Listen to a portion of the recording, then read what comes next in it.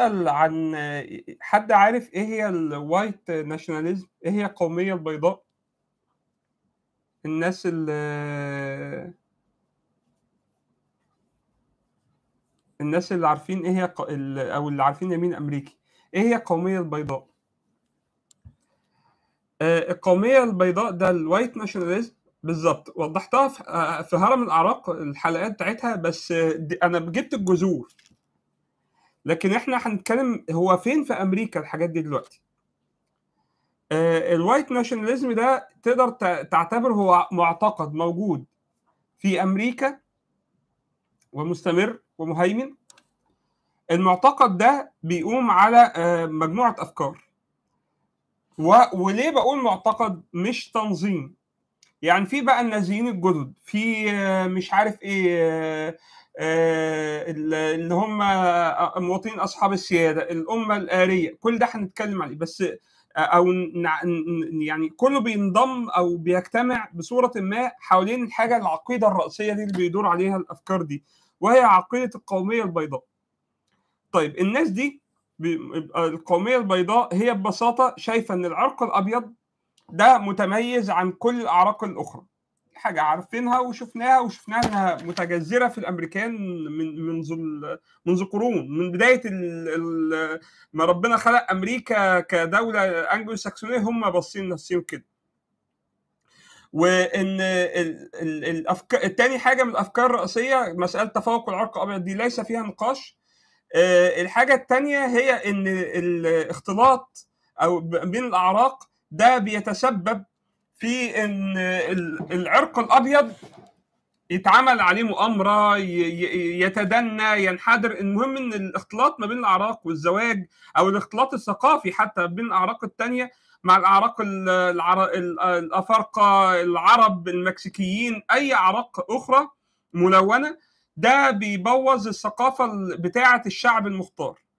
طيب المتدينين في القومية البيضاء يقول لك شعب مختار بجد. وإحنا جبناها في هرم الأعراق. كان ده إن هو ليها صورتين هذه ال- العقيده الصورة العلمانية وهي بقى اللي بتدور في العلم وفي داروينية ومش عارف إيه عشان يثبتوا إن ال- ال- البيض متفوقين. دول بقى هتلاقيهم مهتمين قوي. يقول لك إن إحنا عندنا دراسات قياسات عقلية ودراسات عقلية ومش عارف إيه وبتثبت إن الع- العقل بتاع ال- السود متدني في الاختبارات الذكاء مقابل الأعراق الأخرى والعرق الأبيض وهتلاقي كلام كتيرة بالشكل ده. ده اللي بيهتموا بالناحية اللي عايزين بيروحوا من الناحية العلمية. ولا يستندوا في مسألة هم ليه أرقى في موضوع إن لا إن حاجة دينية. لا هو عايزين ناحيه علمانيه من في بقى اللي هم يستندوا إن إحنا لا ال- العرق الأبيض هو الشعب الإسرائيلي الحقيقي مش ال... مش اليهود. ده برضو عقيدة تانية. بنو إسرائيل الحقيقيين هو العرق الأبيض عرق مش مقصود بيه آه، اللي هو بنو إسرائيل اللي موجودين. لا الإسرائيليين الحقيقيين في أو المعاصرين هم العرق الأبيض هم شعب الله المختار.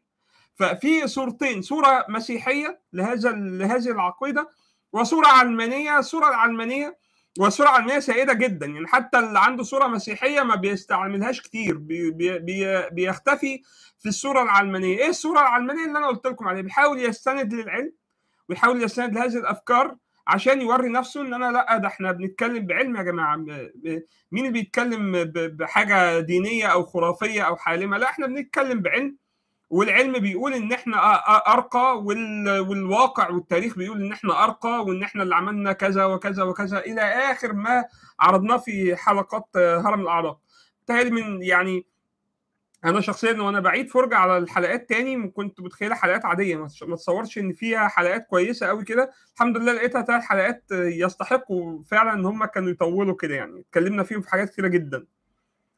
فهم شايفين إن ال- العرق الأبيض ده غير إنه ارقى كمان بيتعرض لخطر شديد. المخاطر كتيرة جدا منها الاختلاط العرقي سواء عن طريق الزواج أو غير الزواج مجرد إن أنت تبقى قاعد مع آه، ناس ملونين بألوان تانية آه، أصفر بني أسود أي لون غير الأبيض ال- ال- النقي ده ده الناس دي بتنقل لك ثقافتها ال- ال- ال- المنحدرة فبيبوظ النقاء العرقي بتاعك.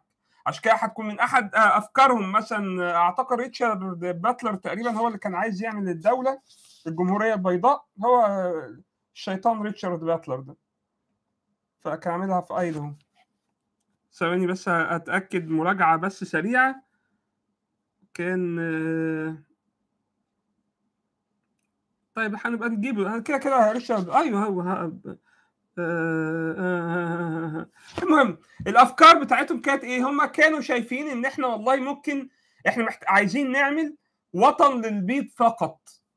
من ضمن الأفكار اللي اقترحت مش كله بيقول كده. في بقى اللي ما بيرضاش بكده. لا إحنا أصلا أمريكا كلها للبيض فقط والكلام ده. لا في بقى اللي يقول لك لا إحنا خلاص أمريكا بتبوظ وأمريكا بتضيع. إحنا وأمريكا كانت معمولة للبيض فإحنا عايزين ناخد جزء من أمريكا نعمله يبقى وطن للبيض فقط. وأي حد من غير البيض هيجي في الأماكن دي هنبدأ نضايقه.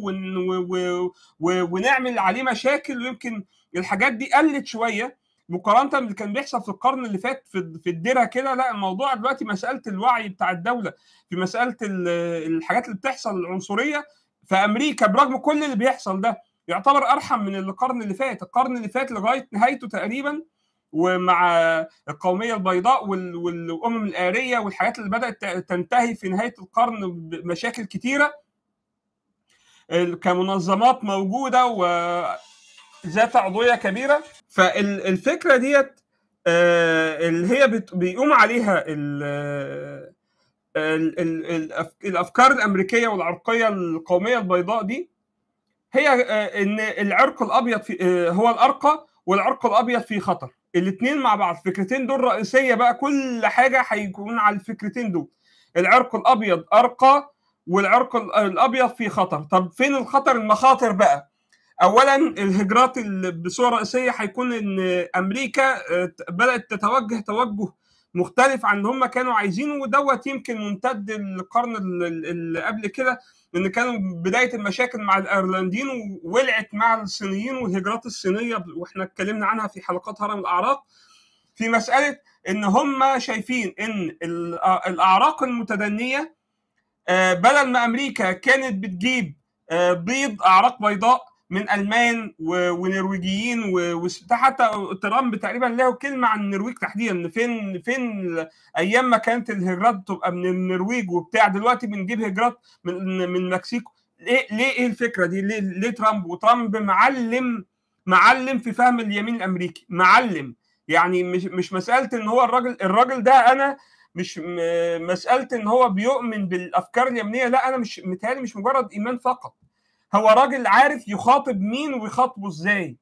كان بيخاطب الامريكي اليمين الأمريكي بكل المخاوف بتاعتهم وكل الطرق بتاعتهم بما فيها البلطجة وقلة الأدب والتطاول كل ده هي دي طريقتهم العدوانية دي.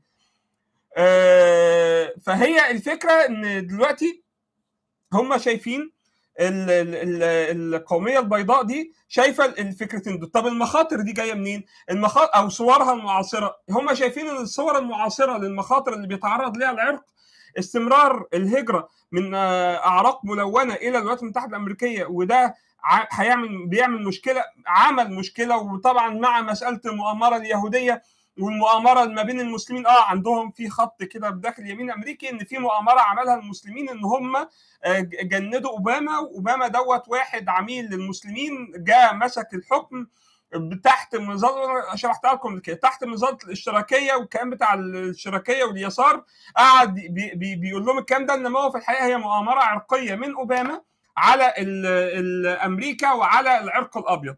فالفكرة دي كلها وهي مؤامرة إسلامية هم عايشين كده إن دي مؤامرة إسلامية عاملها المسلمين في منهم اللي يقول عاملها المسلمين مع اليهود اللي هم بيديروا النظام العالمي. المهم دي أفكار داخلية موجودة بداخل اليمين. إنما ال ال ال الأفكار الرئيسية اللي بيجتمع عليها اليمين حتى اللي هم يعني يقول لك لا إيه إيه الكلام ده؟ أوباما مش كده وبتاع. بس هو مقتنع من جواه أيوه في حاجة اسمها العرق الأبيض ارق يعني دي أقل حاجتين. أقل حاجتين هتلاقيهم مجتمعين في أي حد بيؤمن بالقومية البيضاء. العرق الأبيض ارقى والانجلو ساكسون واللي اسمه دوت والعرق الأبيض في خطر. قلنا من المخاطر ديت مسألة اللي هي الهجرة واتكلمنا عنها. ودي تاريخيا موجودة وتاريخيا كانوا عاملين عليها دايما صداع من القرن ال 19 تحديدا. الصداع بتاع إن في أعراق متدنية بتيجي وبتاع. ولما نرجع للقرن ال 18 هنلاقي إنها كانت الألمان أصلا بداية المضايقة والجتاته من مع الألمان. ثم في النص الأولاني من القرن 19 مع الأيرلنديين ثم لاحقا بقى الألمان والايرلنديين حلوين ويا ريتهم كانوا موجودين ده الصينيين بقى هم اللي بيجوا. ثم في القرن العشرين بقى والكامل اللي هيطلع على مدار هذا القرن نهاية القرن 19 ومطلع القرن العشرين. طيب ده خطر الهجرة. في خطر تاني تناقص عدد مواليد البيض. فدلوقتي انت ك ك التهديد الثاني اللي إحنا بنتكلم عليه هو التهديد بان آه العرق ده بيتناقص. التناقص ده جاي من إيه بقى؟ يجي بقى بيتناقص آه مش مجرد الهجره اللي افسدت افسدت الثقافة بتاعتنا وافسدت النقاء العرقي بتاعنا. طبعا جنب مسألة الزواج بقى ودي مسألة كارثية. وإلى الآن في أفلام أمريكية بتتعامل على مسألة إن حتى لو قبلوا الزواج ده أخطر حاجة الدرجة الخطيرة جدا يا جماعة في مسألة القصة بتاعت الاعراق دي. ليه؟ لأن هو ممكن يقعد يقول لك أنا والأسود والأسود حبيبي ويقعد يبوس الأسود ده من من من يبوسه من خدين وفرحان جدا بالأسود ده. جميل قوي الأسود وأنا ما فيش أي الاختبار الحقيقي بيبقى إن الأسود ده مثلا اللي أنت شايفه بتاع يجي يتجوز أختك مثلا ولا حاجة. اوه بقى يبان هنا بقى المواطن الأمريكي الشريف اللي هيبدأ يبص إيه ده أسود يتجوز واحدة بيضاء الموضوع ده مش سهل إلى الآن في أمريكا. برغم تلاقي حتى المنفتحين وبتاع تعالى بقى حط دوت يتجوز دي يتجوز أختك. دي بقى بتبقى فيها لخبطة جامدة وبيبقى فيها مشكلة جامدة من السود كمان. ما السود ده عندهم حركات عنصرية يعني ممكن نتكلم عنها مرة تانية. Black Panther وغيرها من الحركات العنصرية اللي عند السود اللي كانت رد فعل صريح وواضح جدا على اللي عمله البيض.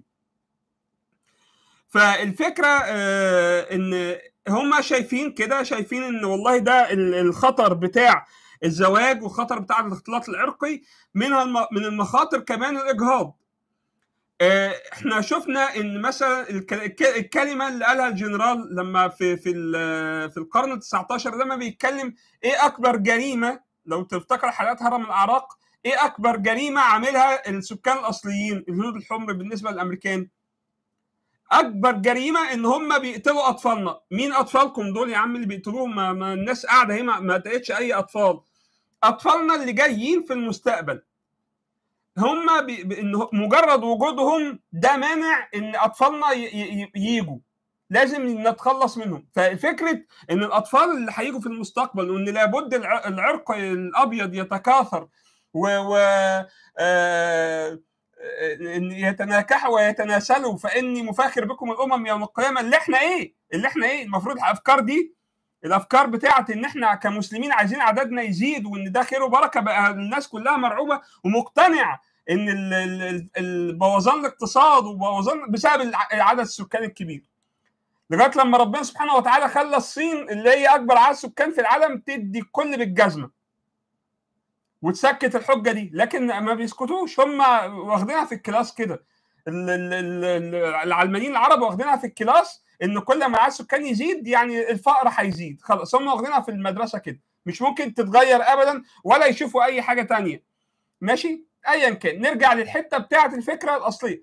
فكرة إن هم عندهم هستيريا بقى هوس في مسألة إن تكاثر البيض ورابطين إن كل ما الأعراق الثانية تواجدها يكتر أو يبقى العرق الأبيض مش قادر إن يجيب أولاد كتير. ما بالك بقى إن أنت تروح قايل له ده مش كده وبس ده كمان أنت سامح بالإجهاض سامح بالحاجات دي كلها. دي بالنسبة له كارثة كبيرة جدا. يعني مسألة الإجهاض دي مش مسألة دينية فقط. أنت ممكن تلاقي واحد كافر بس ولا ولا بيقول في حاجة اسمها المسيحية يسخر من المسيحية لكن ما يقربش من ناحية الإجهاض. يقول لك لا أنا ضد الإجهاض.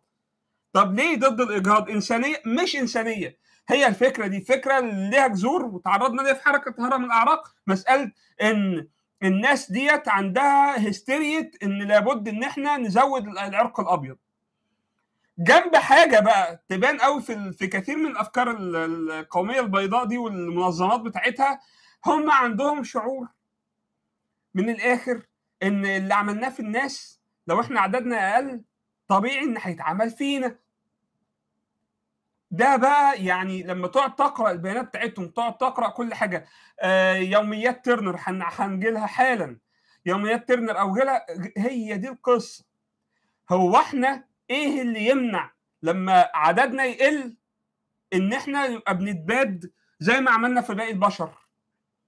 مش إحنا اول ما عدد جينا لقينا السكان الاصليين عملنا لهم إبادات وما رحمناش اللي خلفوهم قرون لغاية لما خلصنا عليهم والباقيين استعبدناهم وخليناهم تحت رجلينا. ما يعني إيه اللي يمنع إن إحنا لما نيجي عددنا يقل؟ يبقى هيحصل هيتعمل فينا كده. إيه اللي يمنع إن يتعمل فينا كده؟ فالفكرة ديت خطيرة جدا. و و و وتقدر تشوفها في كتير من كتاباتهم تقدر تستنبطها ما تتقالش صراحة. لكن تقدر تستنبطها بس ب ب من الكتابات ومن الروايات اللي بيعملوها ولا بتاع. في فكرة شعور إن إحنا عملنا بلاوي سودة.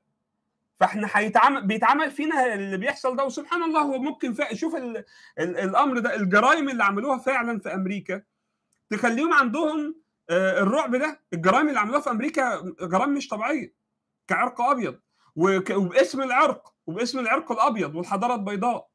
تمام؟ طيب في حضارة ملونة زي ما هم دايما يقول لك الرعب بتاعنا الحضارة الملونة اللي بقت مسيطرة والكلام ده كله. إيه اللي يمنع كل الناس ديت السود وال وال والبني وكل الأعراق دي عندها طار طار بايت؟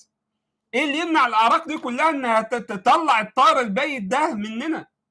إيه اللي يمنع المكسيك مثلا اللي خدت علقة من أمريكا غير أصلا أمريكا اللاتينية اللي طالع عين أبوها من أمريكا طول تاريخها المكسيك تحديدا واخدة علقة من من أمريكا رهيبة في الحرب اللي ما بينهم في القرن التسعة نص القرن 19 ما فيش أي حاجة تعوض الحرب دي كانت أمريكا سيطرت على المكسيك كلها وسابتها بمزاجها بعد ما خدت منها شمال المكسيك كلها. فإيه اللي يخلي إن إن ده دي إحنا هيقضوا علينا؟ إيه الناس ديت إحنا لينا طار عند الناس دي كلها. كل أعراق الألوان الثانية دي ليها طار عند الانجلو ساكسون والحقيقة إن آه إحنا كل الأعراق لو بصينا بالنظرة العرقية بتاعتهم كل الناس ليها طار. كل الناس ليها طار مع البيض. البيض اللي هم بقى دخل فيهم فرنسا وإنجلترا وألمانيا كل دول ليهم الكوكب كله شاف منهم الويل يعني. فالنظره دي تقدر بقول لك تستشف تستنبطها من كتير من كتاباتهم وأفكارهم إن الناس دي عندها رعب. إحنا عددنا لما هيقل هيبقى ليلة أبونا سودة وهندفع ثمن اللي إحنا عملناه. فالفكرة دي موجودة عندهم جنب بقى إن إحنا كمان من عدد المواليد بينخفض الزواج مش موجود اللوطيه بتطلع. عشان كده بقى بص الأركان الحاجات اللي هي بيعادوها. حتى لو مش من ناحية دينية. يعني لو بيقول مفيش دين ليه هتبقى مش فاهم؟ طب إيه الناحية العرقية في إن هو بيكره الإجهاض؟ إيه الناحية وهو كافر بيقول مفيش إله. والمسيحية دي كلام فارغ وتخريف. النازيين الجدد بالمناسبة في منهم اللي شايفين المسيحيه تخريف وبيهاجموا التخريف وقومية بيضاء وشايفين المسيحيه تخريف وبيهاجموا المسيحية. طيب آه، تمام. يبقى ال ال الفكرة ديت اللي هي اللي إحنا بنتكلم عنها مسألة إن إيه اللي يخلي واحد لا يؤمن بآلهة لا يؤمن بالمسيحية لا يؤمن بدين؟ إيه اللي يخليه يبقى ضد الإجهاض وضد اللوطية؟ مش مفهومة صح؟ مش مفهومه ليه؟ لأن ما فيش التاني معياره السودومي وسودوم وجمورة والقريتين اللي بيتكلموا إن هم دول المؤتفكات وإحنا ما عندناش حاجة في الإسلام تقول إن دول القرى المؤتفكات اسمها إحنا اللي عارفينها في القرآن المؤتفكات. إيه أسماء القرى دي؟ عشان بعض يقول لي إيه؟ قول سودومية. على فكرة إيه السودوميه دي؟ أنت جبتها منين؟ من biblical بقى اللي هي حاجات توراتية. مين قال لك إن ديت ديت دي أسماء هذه القرى فعلا يعني؟ لكن هو يقول لك سودومي التوراة بتقول لنا كذا. طب افرض بقى انت تلاقي واحد ناس أمريكان زي مجموعات من النازيين الجدد أو القومية البيضاء اللي هم الملحدين ناس لا تؤمن أصلا إن في حاجة اسمها التوراة كل الكلام ده كلام فارغ. طب أنت واقف ليه ضد الإجهاض واللوطية؟ لما تفهم الحتة دي بقى في العرق الأبيض إن هم بينظروا لمساله العرق الأبيض وتواجد العرق الأبيض والتكاثر بتاع العرق الأبيض إنه قضية وجودية. وإن إحنا لو استمرينا في التناقص وفي المعدل القذر اللي إحنا ماشيين فيه دوت إحنا كده خسوف العرق الأبيض من العالم. والحقيقة إن هم فعلا بالنظرة بتاعتهم هو العرق الأبيض فعلا في خسوف ليه من العالم من الكوكب. ومن القارة بتاعته الأصلية اللي مطلعة اللي والده العرق العرق الأبيض في خسوف. طب الخسوف ده إيه ده؟ إيه مؤشراته؟ مؤشراته سهلة ومادية ومعروفة. شوف عدد المواليد بتوع البيض قد إيه. شوف حجم النقص قد إيه. شوف التناقص الجبار اللي حاصل في روسيا بالمناسبة. اللي حاصل في روسيا. مش مش مجرد الغرب ألمانيا وبتاع حتى روسيا اللي فيها ثقافة العائلة وبتاع اتفرج على المواليد ومعدل المواليد اللي واخد غطس وواضح إن روسيا وقع في مصيبة سوداء في مسألة تناقص عدد سكان الدولة اللي حي... اللي هيعمل يعني دول عملوا إبادة ذاتية العرق الأبيض ده. فالإبادة الذاتية اللي عاملها العرق ده مقابل إن الأعراق الأعراق الأخرى ما مشوش معاه في الخطة. بسبب إنها دول متخلفة ما قدروش يمشوا حسب الخطة المخططات اللي هو كان حاططها. إن ديت ما تخلفش كتير. الحك... الحكام والناس اللي حطتهم إن اوعوا تخلفوا اوعوا تخلفوا ما كانش عندهم سيطرة كافية على الشعوب فالشعوب حجمها كبر. فأصبح دولة زي مصر عددها 100 مليون في حين إن مصر في, في... أنتوا عارفين في القرن ال 19 لما إنجلترا كانت جاية تحتل مصر. تعداد سكان مصر 9 مليون تعداد سكان إنجلترا حاجة و30 مليون. يعني حاول تتصور المنظر الجزيرة اللي هي ربع مش عارف إيه دي تعداد سكان ألمانيا. تعداد سكان ألمانيا. كان داخل على 70 مليون تقريبا أو حاجة في نهاية القرن. تعداد سكان ألمانيا 70 وتعداد العالم العربي والدولة العثمانية بكل دوت حوالي نص عدد السكان أو أقل من عدد السكان أو أقل من نص ممكن من نص سكان ألمانيا. الجزائر وهم رايحين فرنسا وهي رايحة تحتل الجزائر حاجة و30 مليون فرنسا. تقريبا كانت في معدية يعني كانت قربت من 40 بس في هي في أنا متذكر ان هي كانت في حدود حاجة و30 ولما جم في التعدادات كانت تتكلم على إن عدد كان عدد سكان الجزائر حوالي 3 مليون. المسألة مش ما كانتش سهلة. ده السيادة بتاعت العرق الأبيض القرون بتاعته دي كانت قرون مش مجرد المسألة آآ آآ إن سلاح فقط. ما كانش سلاح فقط. كمان عدد سكان وجيوش وأرقام إحنا ما نعرفهاش أصلا ما كانش متصورة. اللي بيحصل في التاريخ دلوقتي ده إن عدد السكان بتاع العالم العربي والدول الأفريقية والآسيوية أكبر بكتير مع الآسيوية ما عدا الصين وشرق آسيا ده. إن العدد يبقى أكتر بكتير من من الأرقام لدرجة إن عدد دولة واحدة بقى ممكن يعمل عدد سكان مصر مثلا يعمل عدد سكان ألمانيا وإنجلترا مع بعض. ده حاجة خيال علمي. دي حاجة خيال علمي إن دي, ما كانتش بت... لما تعرف من قرن ونص الدنيا كانت ماشية إزاي اللي حصل ده ده عرق بينتحر. البيض ده ك... لو من ناحية عرق يعني لا دول الناس بتنتحر الأوروبيين دول بينتحروا. مقارنة بباقي الناس لا دول أنتوا بتنتحروا. ما ملهاش معنى غير كده. وانتحار ذاتي. وانتحار جاب بال... بال... بال... بالانغماس في الشهوات وده سبحان الله يعني اللي يقول لك نظرية التدافع بقى اللي هي الم... أو مفهوم التدافع. مفهوم التدافع يا جماعة هو الجوهر بتاع نظرية الوجود الإنساني السياسي. إن لولا دفع الله إيه؟ الناس بعضهم ببعض. هي دي دفع الناس ربنا سبحانه وتعالى التدافع ده وال وال وال يعني حتى الورقة اللي أنا بجهزها دلوقتي كنت يعني بتكلم على ال inevitable continuous conflict صدام حتمي ومستمر. الصدام الحتمي والمستمر اللي يقول لك الدول دي فيها حروب وبتاع دي الدول دي قد يكون هذه الحروب أنفى لل... لل... لل... للإبادة. وقد يكون الكرب أحيانا ده عشان ربنا سبحانه وتعالى يحافظ بيه على أسس موجودة وعلى أمة تظل موجودة بالكرب بتاع الحروب دي. أوروبا وأمريكا بعد ما كان إحنا إحنا بنتكلم على الخمسينيات ثقافة يعني حتى لسه هقول لكم على فيديو بنتكلم على في الخمسينيات ثقافة الأمريكان اتكلمنا عنها في حالة بيتي فريدن لو متذكرين.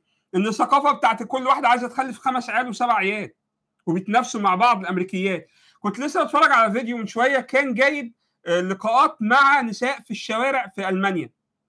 فيسأل واحدة في سنة سنة 70 يعني بقى الموجة النسوية الثانية لسه هتطلع. تمام؟ فيقول لها انت آه إيه رأيك في المساواة بين الرجل والمرأة؟ أنا كنت شفت اتنين ستات قاعدين يتكلموا باستفاضة قعدوا يضحكوا. إيه الكلام الفارغ ده؟ واحدة قعدت تضحك واحدة استنكرت اتنرفزت قوي إيه ده؟ لأ جوزي هو سيدي هو راجلي هو ما فيش حاجة اسمها مساواة. هو الآمر بتاعي هو اللي يأمرني هو اللي يعمل. وألمانية وبتاع أحلى من المؤسسات بتاع هوليود. والتانية برضو بنت واحدة ست زي العسل رايحة شايلة الحاجات بتاعت البيت ومروحة. إيه رأيك في المساواة بين ال... قعدت تضحك مش قادرة تصدق. بتقول له إيه الكلام الفارغ ده؟ الراجل بتاعي هو سيدي. هو اللي أنا اعمل له اللي هو عايزاه. هو اللي يأمرني هو اللي يعمل لي الكلام ده في شوارع ألمانيا. آه كنت شفت فيديو قبل كده برضو كان عمل لقاءات في آه حاجات في آه إنجلترا في مسألة المعاكسة. وهل مسألة إن الست تتعاكس لو الست عكست زي الراجل عشان مساواة في المعاكسة وبتاع الرجالة لا الراجل هو اللي يعاكس وتنرفزه جدا في الحاجات دي كلها. وأفكار المساواة وبتاع الرجالة بقوا بيضحكوا المساواه مين؟ مين يتساوي دي؟ الست ست تقعد في البيت والكلام دي. الكلام ده بيقولوه ستات كمان الاوروبيات وستات امريكيات فالفكرة إن المسألة ديت مسألة إن الانهيار الأسري والانهيار القيمي وإن الانغماس في الشهوات وعدم الحروب خلى الدول دي بقت عاملة إزاي؟ الانغماس في الشهوات طلعت لواط وطلعت شيوع زنا وطلعت عداء الزواج وأبناء الزنا أصبحوا هم الأصل في المجتمع ولم يعد أبناء في فرنسا مثلا أصبح الأصل هو إن أنت ابن زنا مش ابن زواج. الأصل إن أنت ابن زنا في فرنسا. شوفوا المعادلات كان تقريبا معدين حاجة و50% أبناء الزنا. هم طبعا يقول لك إيه ابناء زنا ده لا لا ده الإكس مارت ده حاجات خارج علاقات خارج الزواج. حبيبي أبناء زنا. إحنا ما لناش شعب من المصطلحات اللي أنت بتخترعوها. ده أبناء زنا مثليه ومثليه وعلاقات خارج الزواج وأم سنجل مظهر والكلام الفارغ ده كله ده عند خالتك. إحنا عندنا ده اسمه زنا ودي اسمها زانية وده اسمه لوطي. ودول كلهم ياخدوا بالجزمة. هو ده إحنا عندنا ده ده, ده والله ال culture بتاعنا بيقول كده ان هو لا culture ولا حاجة هو ده الدين ده دين ربنا سبحانه وتعالى. هو ده المعيار الكوني اللي أنتوا خرقتوه فدلوقتي عاملين نطلع عنصريين بيض. إحنا إيه الكارثة والكارثة؟ الكارثة اللي أنتوا فيها سبحانه كلها ربنا سبحانه وتعالى وقعكم وبيعمل بيكم حاجة البشرية كلها تتعلم منكم. الانغماس في الشهوات ما فيش حروب لأول مرة أوروبا تاريخيا إنها تقعد القرن كامل أهو ولا داخلة على قرن ما فيهاش حروب.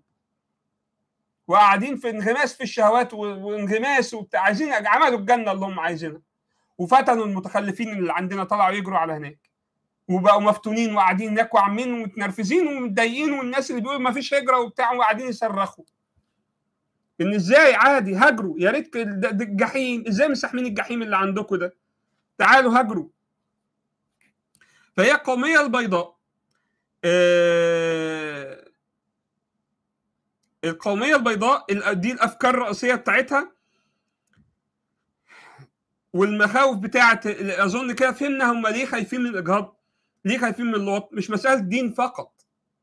ده الدين ده قد يكون بقى إيه يعني آخر حاجة. لا هو الأساس بتاعهم المسألة بتاعت العرق الأبيض بيقل. لما تعمل إجهاض يبقى أنت لا عشان كده يقول لك pro-life أنا ده إحنا مع الحياة.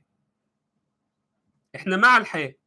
وإن إحنا عايزين ناس حط بقى أنتوا عارفين الإجهاض دي لو كان مخصصة بعرق أسود أو أعراق غير بيضاء اتفرج على على أجمل أمريكا كانت كلها هتوافق على الإجهاض. هو لو يقدروا يعملوا إن القانون يبقى الإجهاض لغير البيض والبيض ممنوع عليهم كانوا عملوها يعني بالثلث. كانوا فرحوا جدا. يلا ويا ريت. يعني هم لو عليهم عايزين يخصوا ويعقموا كل الأعراق الملونة دي عشان يخلص. الرواية اللي بتسمى بتوصف بأنها إنجيل الحركات اليمينية في أمريكا اسمها يوميات تيرنر. Turner Diaries لما تيجي تقرأ الرواية دي الرواية بتقوم حوالين فكرة 2000 تقريبا 2100 الرواية معمولة في الثمانينات تقريبا أو كده يعني. إيه الرواية دي بتتكلم عن إيه؟ بتتكلم عن واحد حتى هو في بداية الرواية بيتكلم إن ديت يوميات بعد ثورة عظيمة أحداث الثورة العظيمة. إيه الثورة العظيمة وإيه القصة دي؟ ليه 2100 أنا هحكي لكم الحاجات اللي كانت بتحصل الثورة بتاعتنا. إيه يا عم الحاج؟ بيتكلم على إن أمريكا اليهود اللي كانوا في الضلمة طلعوا وهم مؤمنين في كتير جدا من اليمين الأمريكي مؤمن إن الحكومة الأمريكية حكومة يهودية والحكومة العالمية كلها حكومة يهودية ودي مؤامرة عالمية والكلام ده. فاليهود طلعوا من الضلمة وأصبحوا بيحكموا الأمريكان ومخلين الأعراق السوداء أو الاعراق الملونة هي المسيطره ففي مؤامرة ما بين الأعراق الملونة وما بين ال ال اليهود اللي بيحكموا أمريكا. والمؤامرة دي كانت إن هم يعملوا للبيض ما يشبه الإبادة. إذلال وإهانة ووضع سيء جدا. ومع البيض مع اليهود في بيض خونة. بيسموه بيسمي البيض الأبيض الخائن بيسمي الأبيض الخائن ديوس. هم عندهم كده المصطلح بالمناسبة كده. المصطلح عندهم إن ده ديوس. طب ليه؟ إيه المصطلح ده؟ ليه؟ لأن بيعتبروا إن أنت الديوس دوت هو إن أنت خليت الناس الأعراق الملونة يتحكموا فينا وتعاونت معاهم. فبيشبهوه بالراجل اللي سمح بمراته إنها يفعل بها من واحد أجنبي. فبيسموا دول الخونة اللي بيسموهم ده, ده أي حد خاين بيسموه ديوس تمام؟ وده مصطلح موجود عندهم يعني موجود جدا ومنتشر جدا في يعني ده الدلال. لما يقول كلمة ديوس عند اليمين الأمريكي كلمة ديوس هي قصده. الواحد الأبيض اللي هو من العرق الأبيض وبيتكلم عن الأعراق الثانية كويس. والله العرق الأعراق الملونة دي سواء صينيين عرب أفارقة لا يعني عادي يعني أو المكسيكيين أو كده لا والله كويسين بيفهموا زينا أو اعراق أعراق زينا زيهم لا يسموه ديوس. فده مصطلح معروف جدا عندهم طيب يبقى هم القصة بادئة بترسم إن العالم أصبح في وضع سيء جدا اليهود والأعراق الملونة أصبحوا بيحكموا أمريكا والبيض وضعهم سيء فالبيض هيعملوا ثورة كبيرة جدا. في الثورة دي هيعملوا إبادة والرواية بقى كلها عبارة عن طرق التفجير مش عارف إيه بيروحوا في كذا يقتلوا إزاي كده. كلها الرواية عبارة عن المنظر دوت المطالعة بتاعتي للرواية واضح إن هي كلها ماشية على نفس القصة. عمليات إرهابية بتتعمل. عشان كده الرواية دي في عمليات إرهابية اتعملت طالعة من الرواية. يعني عمليات عملوها البيض مجازر ده واحد دخل قتل مش عارف إيه عشان ده شبه الحادثة في الرواية اللي بتحكي إن سنة 2050 ده واحد دخل مش عارف إيه دخل وقتل كذا كذا في مدرسة مش عارف إيه. هو كده الرواية بتتكلم على إن البيض هيعملوا ثورة والثورة دي هيعملوا حرب إبادة تقريبا مش عارف هيستخدموا القنابل النووية فيها ولا لأ. المهم هيعملوا إبادة حرب إبادة هيرجعوا الأعراق الثانية مكانها ويخلصوا عليها. وهيبقى أمريكا والعالم يرجع عالم لسيادة العرق الأبيض الآري القومية البيضاء وهي دي اللي هترجع لها السيادة عن طريق إن هي تخلص بقى على اليهود وعلى أي ديوس من البيض اللي هم اللي بي بي مع بيتكلموا كويس عن الأعراق الثانية والأعراق الثانية كلها تبقى يا إما تتباد بالناوي يا إما تبقى تحت رجليهم. فدي نهاية الرواية وهكذا انتصرت الثورة والرواية بتبقى بتنتهي بالنهاية الجميلة ده. ده بقى يوميات ترنر دي الإنجيل بتاع اليمين الأمريكي. ف وموجودة متاحة هي امازون لسه شايلها السنة اللي فاتت السنة اللي قبل اللي فاتت 2020 تقريبا. اتشالت من المكتبات بس هي معروفة وبتتباع في كل حتة. الرواية بقى لها 40 سنة تقريبا موجودة يعني لسه جرؤوا إنه في 2020 يشيلوها. الرواية ما كانتش بتتشال يعني تقدر تقول لوبي. يعني معمول إن خد بالكم اللوبي بتاع اليمين في مسألة استبقاء هذه الرواية. مع إن الرواية لما تيجي تقرأها خطيرة جدا. الرواية بتتكلم على إرهاب مش بتتكلم يعني اللي يقول لك إرهابيين و... الرواية بتتكلم على الإرهاب. أصلا اليمين الأمريكي بي بي بترجع بيرجع لبعض المؤسسين بتوعه. الأفكار بتاعة اللون وولف مثلا الذئب المنفرد. إيه الذئب المنفرد ده؟ ودي برضو تقريبا عدت في الرواية. مسألة إن أنا أعمل خلايا صغيرة أو واحد لوحده. ما أعملش تنظيم. التنظيم ده يعمل ثورة على الحكومة الأمريكية فلما تيجي الحكومة الأمريكية تروح قابضة على كل الناس. الكلام ده غلط. هو واحد يروح ماسك رشاش ويروح يقتل. اعمل بنفسك. ما ما وما تقولش أو بالكتير قوي لو عملت اعمل خلايا صغيرة خلايا فيها اثنين ثلاثة لكن حتى كده لا الأحسن لون وولف اللي هي الذئب المنفرد. خد الرشاش بتاعك وروح خلص على على الأعراق الملونة. اعمل الحاجات دي كلها. فهو اللي إحنا اتكلمنا عنها في الحلقة اللي قبل كده لما اتكلمنا عن مسألة المقدمة بتاعة المع... اسمه معجم برضه مصر. الموسوعة بتاعه اليمين المتطرف الأمريكي. هي مسألة إن هم الأبطال بتوعنا لما بييجوا يعملوا طيب ما هم الأمريكان كانوا في البداية كانوا كده. يعني إيه المشكلة إن أنا آخد فعلا رشاشة وأروح أقتل؟ ما هم كانوا في الثورة الأمريكية بيعملوا كده.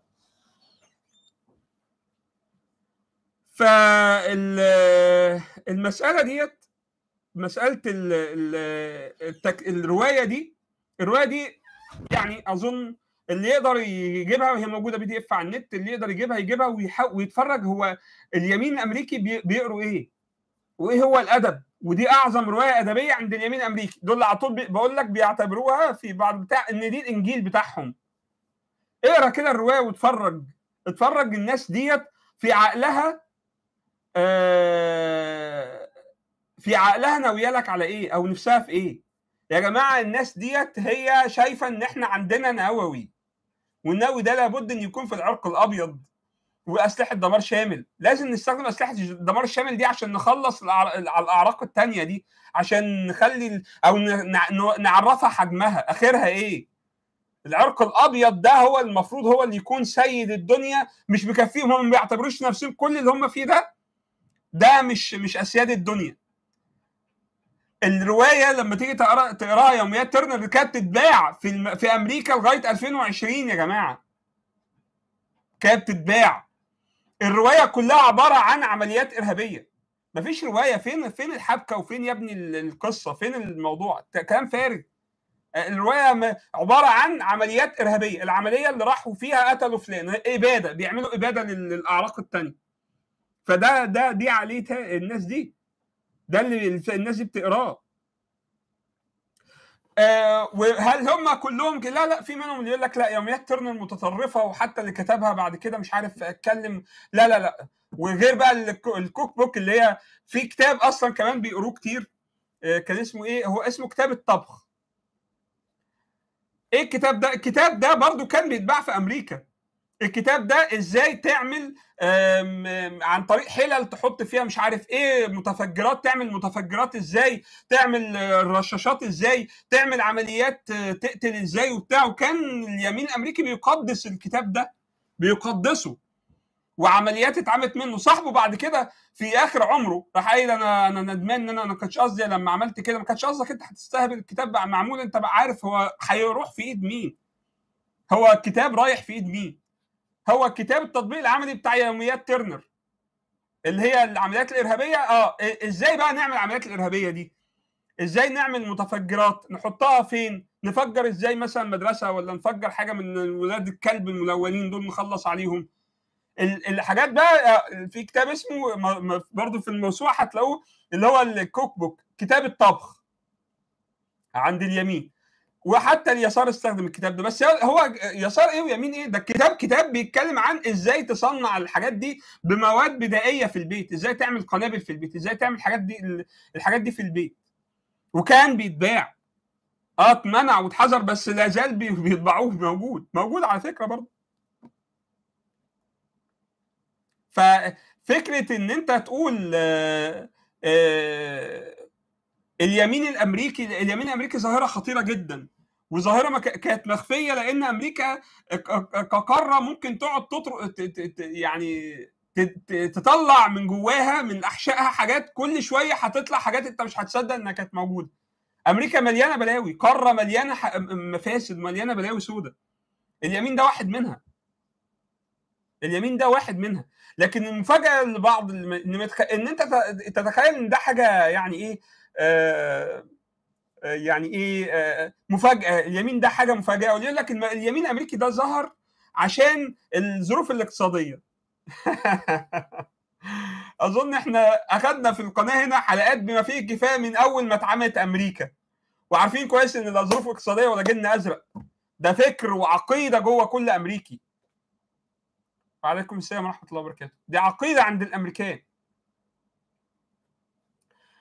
عشان كده استغربت جدا يعني برغم إن أنا قد إيه أنا كنت متنرفز وكنت مستني الحاجة دي من آه،. آه، هو اسمه جوردن بيترسون تقريبا صح؟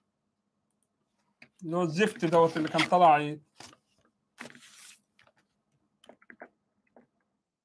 بص يعني مثلا قاعد أقرأ له كل حاجة بألف إيه وأجي فجأة تلاقوني. نسيت اسمه أساسا هو كويس إن أنا فاكر اسمي آه بيترسون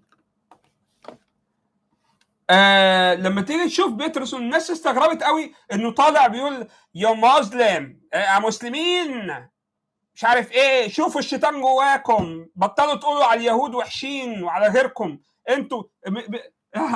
هو ليه بيتكلم معانا كده؟ أنا شفت كذا حد من اللي هم المعلقين الأجانب اللي بيتكلموا المسلمين الأجانب بيتكلموا إيه ده إيه الطريقة المتعالية دي؟ يخرب طريقة متعالية إيه؟ طريقة متعالية إيه؟ أنتوا. أنتوا متخيلين آه، أصله دمع اصل دمع. يا ابني أنت عارف يعني إيه يمين أمريكي وبيترسون يمين أمريكي؟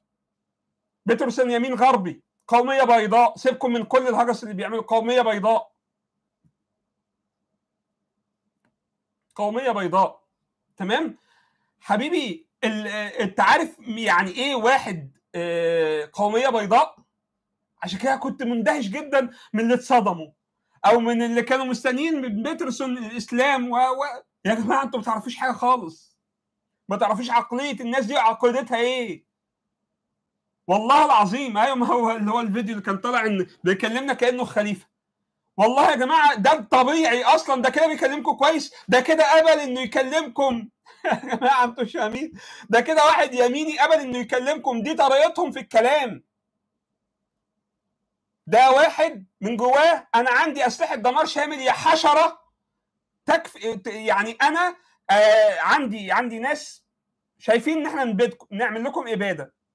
نعمل كده ونخلص عليكم خالص. ويوميات ترنر بقى وتاريخ وثقافة وبتاع وحاجات عندي كتير كتير. م- مش ممكن الحاجات دي ما يكونش عارفها بيترسون يعني. تمام؟ حضرتك بكل طيبة ولطافة في إيه هو الراجل ده أنا أنا مش مع المتطرفين دول لكن أنا شايفكم إن أنتوا عرق أدنى أنتوا اعراق أدنى دي خلصانة. فأنا بتعرف على العرق الأدنى ده لكن اللي يقول لك إيه برغم إنه قعد كذا ساعة لكن ما فهمش الإسلام. والله لو قعد 100 ساعة والله لو قعد 1000 ساعة يفهم إسلام مين يا حبيبي؟ يفهم اسلام مين يا حبيبي؟ خاصة مع شخصية متضخمة عندها تضخم الأنا كده زي بيترسون. ده حاسس إن هو وتيجي تقرأ حاجات وأنا قعدت أقرأ يا جماعة نزلت كام ك- الكتابين؟ هم كتابين. ال- المعروفين ليه وبتاع. قعدت أطالع كده لغاية لما هقراها يعني. كلها إيه يا عم ده؟ مش مفكر يعني. عيب أصلا يتقال عليه مفكر. هو اللي هو يقول لك السبيكر متحدث. هو متحدث جيد عنده كاريزما وبتاع. لكن خدوا بالكم برضو أكررها. بيترسون خد على قفا ال- اليسار شهرة. وأنا على فكرة. بن شابير وكذا حد من اللي بيقعدوا يطلعوا ي... ي... يقول لك إحنا يعملوا نمر. في و... في كذا في قنوات قايمة إن هو يعمل إيه؟ بيعمل هو المتحدث ويروحوا قايمين واحدة يسارية يقول لك واحدة يسارية قامت وتروح قايلة إيه؟ ال transgender ال homosexuals والمش عارف إيه وبتاع. وهم يروح إيه بقى يوري قد إيه هو بيقصف جبهة. أنت عايز تقصف جبهة واحد بيقول لك إن مفيش حاجة اسمها ذكر وأنثى. أنت فاكرك نفسك كده بتقصف جبهة يالا؟ ال- ال- اليمين الأمريكي ده بيجنني. أنتوا بتعملوا سمعة على ناس بتقول لكم مفيش حاجة اسمها ذكر وأنثى وإن ممكن الأنثى يبقى واحد عنده قضيب طوله متر ويقول عليه أنثى. أنت كده قاصف جبهة جبار أنت يا ولا؟ محتاجة إمكانيات عقلية جبارة؟ أنا ببقى قاعد أضحك والله العظيم على اليمين سيبك من اليسار خلاص اليسار ده متخلف انتهى. هو جاب والله العظيم اليسار جاب الفكر الفكر الغربي للآخر. اليسار ده هو الفكر الغربي. هو ده آه، مد خط ال ال ال ال ال الأفكار ال- ال- الليبرالية لآخرها. كل حاجة كل المنتوج الغربي بتاع العقلانية والعلمانية وال reason والمش عارف إيه وال logic وكل ده هو جاب آخره. والله اليسار ده جايب جايب آخره. وأي حد اليمين كل اللي بيعمله اليمين الأمريكي أو الغربي إنه بيحاول إن يعمل موازنة. إن إحنا مش عايزين ناخد اخره لا لا حبيبي لا لا والله.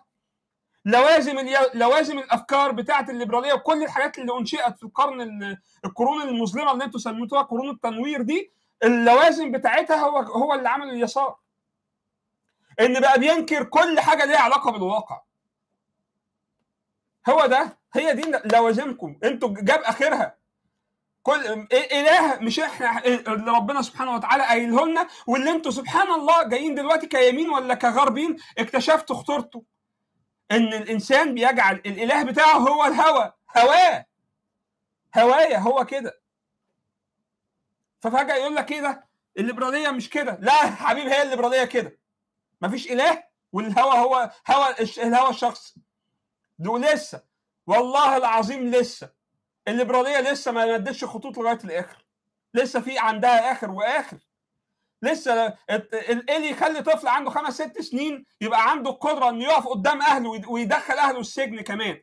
لو قالوا له إن ما, يش... ما... ما يعملش مثبطات وجراحات عشان يتحول لبنت عشان هو الولد عنده ست سنين فلبس طرحة ولا لبس قميص نوم فقال أنا بنت. بس كده أي لو أبوه وأمه مش هيسمح مش هيسمحوا لهم إنه يتدخلوا. إيه اللي بقى اللي يخلي الطفل ده ممنوع إنه يمارس الجنس مع واحد؟ يا سلام هي ممارسة الجنس مع واحد أقل في الخطورة أكبر في الخطورة من إن أنا اشيل له الأعضاء بتاعته أصلا؟ إيه اللي يخلي أخلي راجل وراجل يتجوزوا بعض بس لما أخلي واحد واحدة وواحدة يج... أخ وأخت عايزين يتجوزوا بعض أقول لأ. إيه مع إيه اللي يخلي حاجة زي كده؟ أصل هيطلعوا أبناء مشوهين. عندي من التكنولوجيا اللي ممكن تعمل كده. عندي من إن هم يا راجل قالوا هو قال أنا هش... أنا مش همنع الحمل.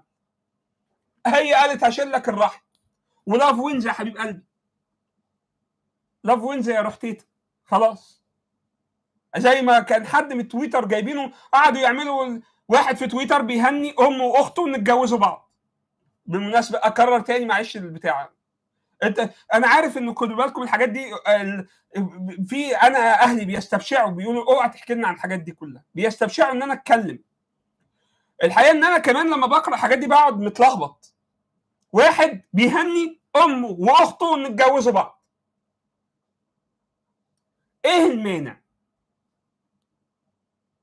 بالليبرالية إيه المانع؟ ولا في خطورة خلفة ولا في خطورة أي حاجة. إيه اللي يمنع إن مش لاف وينز؟ مش لاف وينز يا رحتيتا آه لاف وينز. إيه المانع؟ فوالله يا جماعة بصوا الفكرة كلها فكرة إن ال ال اليمين يقول لك أصل بيترسون بيقصف. أنا إيه, إيه الحاجات اللي أخذ بيها شهرة؟ وعلى فكرة زمور تقريبا اللي هو اللي هو الفرنساوي اللي برضه جابوه وقعدوا ينشروا حاجات واللي هو بتاع قناة براجر. يا جماعة دول الأركان بتاع اليمين إيه اللي بيقولوه مفاجئ ليكم؟ كمسلمين مخليكم قاعدين تتابعوهم وتقولوا نرجو لهم الإسلام. هو ده الخطاب بتاعهم لأسباب لأسباب عرقية عنصريه لكن اللي اللي خلاهم أصلا يبرزوا وهم أفكارهم سفيهة. ده الزمن يبقى فيه بيترسون ده أصلا معدود من مفكرين الأوروبيين دي كارثة أساسا. عشان كده في نقود يسارية طلعت عليه كانت بتتكلم إن ده مش مفكر يا جماعة إحنا مضطرين نرد عليه عشان يعني هو واخد شهرة إنما ده مش مفكر أصلا. إحنا عندنا تعاملوا معاه على إنه مفكر. مفكر ليه يا عم الحاج وروني كده وروني المفكر الجبار. واحد بيستخدم علم النفس والإحصاءات اللي طالعة علم النفس. الحاجات اللي إحنا يعني أنا اللي فاكرين أنا مش بقول إن أدواته غلط.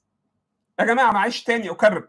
أنا مش بقول إن الأداة بتاعته غلط. بس إحنا إحنا من زمان بنتكلم في كده إن الإحصاءات بتاعت علوم النفس الحاجات بتوري إن في كلام فارغ في مسألة إن الراجل مش هيحصل له تأثر من المرأة وإن الراجل شهوته أعلى وإن مش عارف إيه وكامل النسوية واليسار كان بيقولوا لا علم النفس أثبت آه لا لا. والستات بتتكلم أكتر والرغي بتاعها أكتر وعدد التكست والنصايح بتاعها بينصحوا بتبقى عيلة عندها 10 سنين وتقعد تنصح زي ما حاجة طالعة من كام يوم. واحدة بتقول اكتبي قايمة ولو أنت مش عارف إيه لو جوزك بتساهمي في بالفلوس بتاعتك في بيتك اتطلقي ومش عارف إيه. البنت عندها 19 سنة ولا 18 سنة. وبتدي نصايح للستات إنهم يتطلقوا. آه آه مثبت في علوم النفس. أيوه أيوه, أيوة. إيه ده عملوها إزاي؟ عملوا عملوا دراسات وقعدوا يسألوا ويشوفوا ما في ال ال الهوانم على طول بينصحوا. البنت تبقى عندها 10 سنين وتنصح.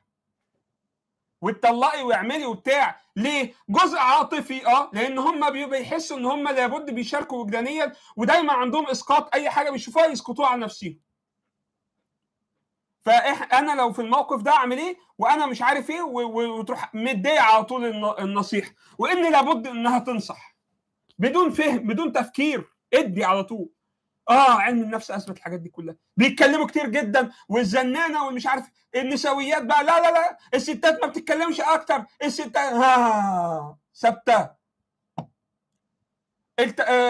الإغراءات والستات تستجيب للإغراءات بصورة أكبر وبتاع النسويات بقى أوعى يا كلب أنت تقول كده. الستات ما تستجيبش الاغراءات و... آه... ثابتة. ثابتة إزاي؟ ثابتة يا حبيبتي بال... بال... يشوفوا السلع والاستهلاك الرأسمالي والمولات والبتاع. اتفرجوا على كم الستات بتشتري إيه؟ النظام الرأسمالي كله قايم على الستات بصورة رئيسية. عشان كده مش غريب قوي ان انت تبقى بتتفرج على مجرد اي داعية ولا اي حاجة. ده سوق حبيبي إحنا في زمن السوق بتاع اي داعية هو ال ال الشهرة والشير واللايك والقناة والبتاع مش عارف ده السوق فهو السوق دوت كسلعة رأسمالية مين أكتر ناس في في أسواق في الأسواق بيستجيبوا لمغريات الأسواق. مين أكتر ناس تستجيب لمغريات الأسواق؟ النساء. فأي أي حاجة هتقوم على سلعة مش بتخاطب النساء بصورة رئيسية هيحصل لها كارثة في عالم راسمالي ودعوة راسماليه آه الدعوة الدعوة الإسلامية أصبحت رأس ماشية بمفاهيم الراسماليه الشير واللايك. ما هو ده اللي حاصل. ما في فكرة إسلام السوق وهنبقى مش مش مش هنرجع لحاجات اتقالت من زمان بس معروفة ومرصودة من زمان. فكرة إن الدعوة بقت بقت ماشية بنظام رأسمالي. فا آه ثابته ثابته حبيبتي. وشايفينها ولو أنت مش شايفة بعد كل دوت إحنا يعني أي حد أي لو أنت واحدة قاعدة على عاقلة وقاعدة على الفيسبوك عارفة الدعاء الملزقين المحن والحاجات الهجمات المضادة. واللي عاملها الشباب على الدعاة المحن ومجاعات المحن آه ليه ليه واصلا؟ إيه اللي يخلي واحد دانه قد كده وقاعد في الشريعة؟ يبقى بي بياخد شهرة. في ناس ما سمعناش عنها ومفيش طرح عدل بيقولوه أصلا. ده كلام أهبل. أمال إيه اللي بيعملوه؟ إنه بيتكلم بالخطاب اللي بيعرف يسوق يتسوق في أغلب النساء. وهو حبيبتي آه اعرفي إن ربنا بيحبك إن ربنا شايلك الخير. ربنا حي... اعرفي لو انت عايشة في ظروف صعبة ان ربنا جايب لك الأحسن. ربنا هيعمل لك بعد بعد بعد بكرة السنة الجاية السنة دي صعبة آه. ربنا شايل لك خير كبير. لا يا حبيبي أنا أعرف ربنا كان شايل وبتصلي وبتصوم وتقيم الليل وبتاع وربنا كان شايل لها سرطان. وكانت في ظروف منيلة بنيلة طلعت من السكر دخلت في سرطان وماتت بيه. وبتصلي وبتقيم الليل وكانت ويجمع الناس على إنها تقية وورع. وأعرف واحد متدين وكل حاجة وطلع الدين يعني بص حياته كلها عبارة عن من نقرة لضحضره من ضحضره لنقرة وابتلاءات ما بتنتهي أيوه يا حبيبي لأن أنت الحياة مش معمولة عشان ربنا هيجيب لي بكرة عشان أنت واثق قوي الناس أهلك ليه يلا؟ أنت عارف الغيب يلا؟ أنت أصلا مش أنت باللي أنت بتعمله ده عكس المفهوم أصلا بتاع الدنيا. عندنا في كمسلمين. الدنيا مش دار جزاء يا حبيبي. صومي النهارده واعبدي ربنا. اقعدي قضي الليلة كلها صلاة وبكرة إن شاء الله هتشوفي. تصحى الصبح تلاقي أبوها ميت وجالها خراج في رجليها وأمها واقعة من في الأسانسير وجوزها بيخونها كل ده الله ده أنا مقضية الليل كله في الصلاة. أيوه حبيبتي. هي العيب على الأستاذ اللي خاطب النساء بما يجذب النساء المحن والعاطفة. المحن ده المصطلح الشعبي اللي هو يا جماعة الخطاب العاطفي. الخطاب العاطفي. والخطاب اللي بي من أكثر حاجات العاطفة الخطاب الذي الذي يمني بمستقبل واعد. آه وده من نسب الحاد ده ده إحنا عارف ده إحنا عارفين بلاوي سودا في الملف ده. ملف الإلحاد بتاع انه قام على إن ال- الإسلام الديني الكيوت وربنا ال- ال- اللي هيجيب لنا بكرة لو عارف لو لبست الحجاب النهارده آه بكرة هيحصل لك بقى وهتشوفي آه، عارفة أنت أجمل بالحجاب لا لا لا مفيش واحدة ست أجمل بالحجاب. سيبكم من الخطاب الكامل الفارغ ده إلا بقى إذا كان شعرها آه، غوريلا. طبيعي طبيعي. الست شكلها مش أحلى بالحجاب ولا بالنقاب. مفيش واحدة أحلى باللبس الواسع. مفاجأة. يلا مفاجأة. آه والله العظيم. مفيش واحدة أحلى باللبس الواسع. الواحدة بتبقى أحلى في حالتين. يا إما عريانة يا إما لابس لابسة لبس محزق وملزق وشفاف. بتبقى أجمل بكتير من صاحبة اللبس الواسع. وتخيل دي بقى ال concept ده الغريب جدا غريب قوي من ال concept ده. ده ال concept اللي قايم عليه أهلي أهلي وأهلك وأنت شخصيا بتتجوز عشانه. إن أنت تشوف اللي مش متشاف وإن أنت تملك القدرة على الوصول للي ما تقدرش توصل له. طب ليه إيه؟ طب أنا بعمل كل الجواز وبعمل كل المصايب دي عشان ليه أصل وأشوف اللي مش متشاف ما لو هي أحلى بالحجاب طب ما خلاص ما إحنا بنستمتع بقى كده بيها. خليكي لابسة الحجاب والنقاب يا بنتي عشان انت أحلى بالنقاب. انت أحلى بالحجاب. انت أحلى وانت لابسة واسع.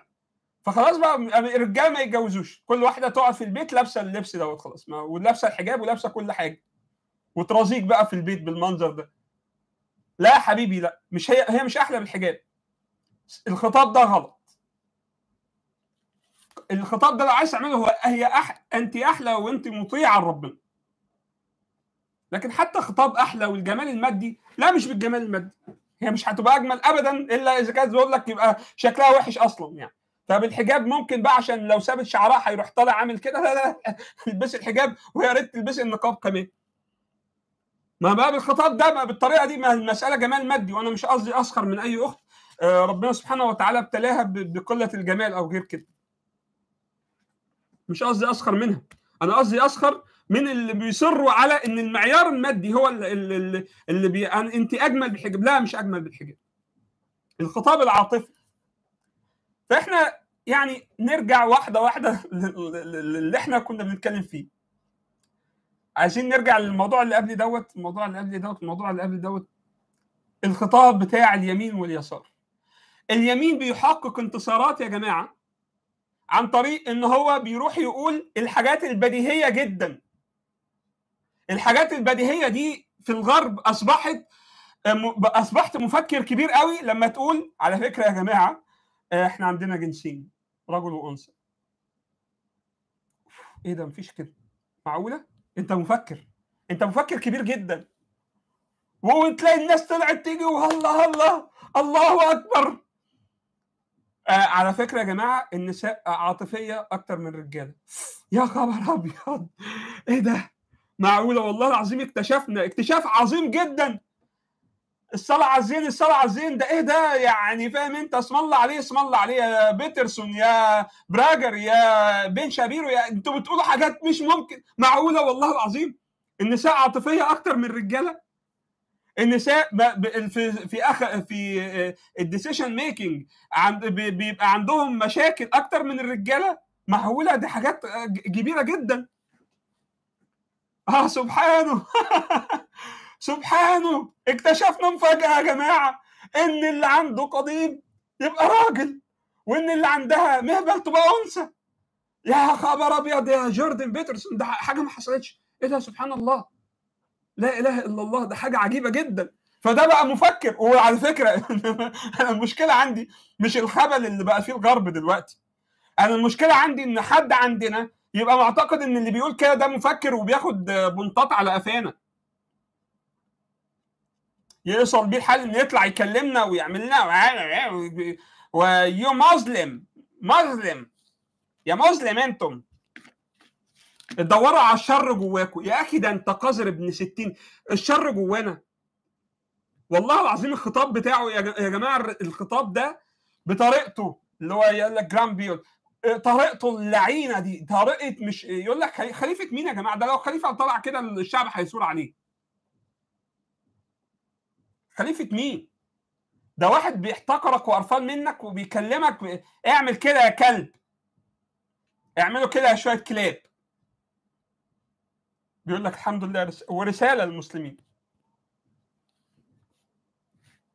آه مثلا يا نهار أبيض يا جدعان الرجالة طلع ما بينفعش تحمل وترضع. ما بقول لك ال- الرموز بتاعت اليمين أمريكا عمالة تاخد و- وهم حسوا كمان إن ده يعني أنا بقعد أتفرج عليهم وعلى صفحات اليمين الامريكي الرموز بتاعته الرموز بتاعته والله العظيم ببقى قاعد أضرب كف على كف. آه يعني آه، يجيب كلام بمعناه إنه بيقصف جبهة فلانة من المتحدثين. فلانة دي اللي بيقصف جبهتها طالعه بتقول له أنت أنت بتقول إن في آه راجل وست بس جنسين فقط؟ يقول لها آه. تقول له أنت أنت مجرم أنت بتقتل أنت مش عارف إيه أنت أنت تعرف إن في واحد من كل خمسة transgender مخنثين بينتحروا أنت كده بتقتلهم أنت بتاع. فيقول لها يعني أنا عملت كل ده مجرد إن أنا قلت راجل وست. أيوه مفيش حاجة اسمها راجل وست. م- طب عرفي لي يعني إيه الست؟ الست يعني مش عارف إيه وال- والهرجلة اللي هم فيه. الست هي الواحد اللي بيعرف نفسه إن هو ست. آه يعني في راجل يقدر يرضع. هو أنت بتقول إن مفيش راجل ان إن آه، يقدر يرضع ويحمل؟ آه ما هو أنت ما تعرفش. مش ال- الأيديولوجيا اللوطية بتقول إن هو ممكن واحدة تعرف نفسها إنها راجل وهي عندها قدرة إنها تحمل وترضع؟ أنتوا تعرفوا ان في وزير اسرائيلي كان في من من حوالي سنتين كان حاطط صورته هو مع مراته. مراته الصورة يعني حتى اللي بعتها لي بيقول لي مش فاهم حاجة. مش ده راجل إيه المنظر ده؟ هو الرجالة ينفع تولد؟ تقول تولد إيه؟ فجايب آه، ان هو واحد آه، مشعر وراجل منظره راجل خالص وحامل ونازل بقى عشان بيولد في في البسين وحاجات كده. ووزير الوزير الإسرائيلي معاه وبتاع جوزه. وإن دول لوطيين بيقول لي مش دول لوطيين هو هو ينفع راجل؟ قلت له يا عم لا. قال لي أمال إيه؟ قلت له يا حبيبي دي واحدة ست. أخذت بتقعد تاخد هرمونات وبقى عندها شعر وشايلة صدرها وبتاع فبقت شكلها راجل. بس متجوزة راجل. فقلت له الناتج المنظر ابن الجزمة اللي أنت شايفه قدامك ده. منظر راجل بيولد إنما قلت له دي واحدة ست ومتجوزة الأستاذ. واحدة ست مترجلة. قال له بس أدي أدي الشكل ببساطة. بقى أنا لما أجي آخد أنقد أنت لما تيجي تقول بقى إن دي راجل هي بتعرف نفسها إنها راجل. فهي بتقول بتاعه الي... ال... اليسار أو اللوطية بتتكلم في إيه؟ بتتكلم إن هي. هي راجل. يبقى في راجل يقدر يحمل ويولد. في راجل يقدر يحمل ويولد. معلش يا أخو آه، آه، بتقول مهما لفوا هيرجعوا الفطرة بمناسبة إيه؟ هو ب- قوم لوط. رجعوا الفطرة. اتخسفت على دماغ ابوهم فمساله إصرارك على إن لا الفطرة هتنتصر. لا ممكن على فكرة القوم دول خلاص بي بي بي بي بي بيحصل لهم ضياع. آه. يعني إيه مر... امرأة؟ ما إيه هي المرأة؟ وإيه هو الرجل أصلا؟ ما هو بيقول لك راجل وتقول له أنت فهو بقى راح قصف جبهتها بقى فيقول لك بص قصف جبهتها وبتاع. يا جماعة اليمين الأمريكي بياخد نمر على حاجات عبيطة وعامل نفسه مفكرين ومصدقين نفسيهم. وفلان الفلاني بتاع اليمين الأمريكي الرمز البارز يجي بقى يتكلم كأنه مفكر منهم بيترسون ده بقى وكبيرهم أصلا. بيتكلم إن هو مفكر. مفكر مين يا عم الحاج؟ مفكر مين يا ابني؟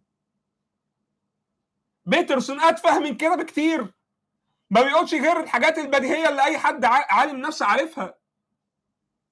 بس ممنوع تقولها في ال mainstream media في وسائل الإعلام. ممنوع تقولها. خلاص ممنوع تع- تعمل حاجة زي كده. الله المستعان. فالأفكار بتاعت إن بيترسون يكلمنا كده ده الطبيعي بتاع. اليمين الأمريكي. ده اللي أنا عايز أوصله لكم. إن ده الطبيعي يا جماعة والعيب علينا إحنا إن إحنا خلينا للحشرة دوت خلينا له ليه قيمة أصلا. وأي حد من اليمين أنتوا هتلاقوا كتير من اليمينيين بالمناسبة الفترة اللي جاية أنتوا بيترسون هو المشهور لأ آه قوي بي- بينكم. لا لا أنا شفت كام واحد هيطلعوا الفترة الجاية جامد. بيعرفوا يقصفوا جبهات أضعاف اللي بيعملوا بيترسون وفي المناظرات وفي مناظرات شعبية. مناظرات شعبوية وحاجة يعني وبيعرفوا يقصفوا جبهة بس بيقصفوا جبهة بايه ده؟ إيه إيه إيه, إيه قصف الجبهة؟ إن أقول لواحد آه واحدة بتكلمني فبقول لها على فكرة في حاجة اسمها راجل وست. أوه! الله الحمد لله قصف جبهتها. آخ.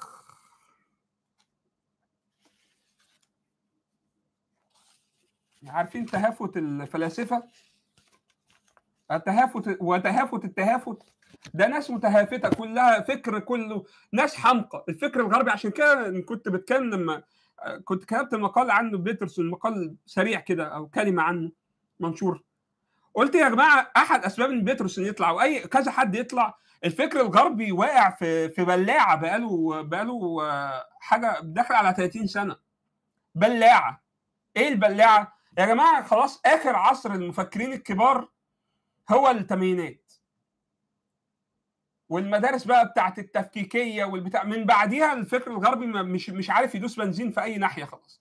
أصبح مجرد إنه يعني عمال ياخد التطرفات بتاعت الحاجات اللي هي اتزرعت في السبعينات والثمانينات الفكر الغربي أصبح فكر متخلف فكر معتوه. تقعد تقرأ كلها إيه يا جماعة؟ والله العظيم يا جماعة و...